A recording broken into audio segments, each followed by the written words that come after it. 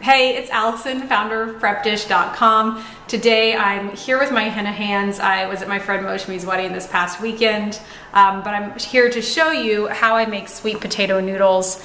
I cut off the sweet potato. This is a Japanese sweet potato, that's why it's white.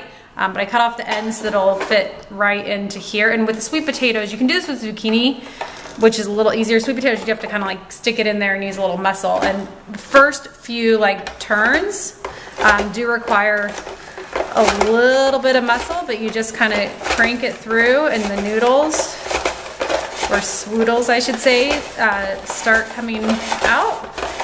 Um, and then you can either, I'll saute these, I think that's the easiest, but I've also roasted them. You can, um, they kind of make fries if you roast them.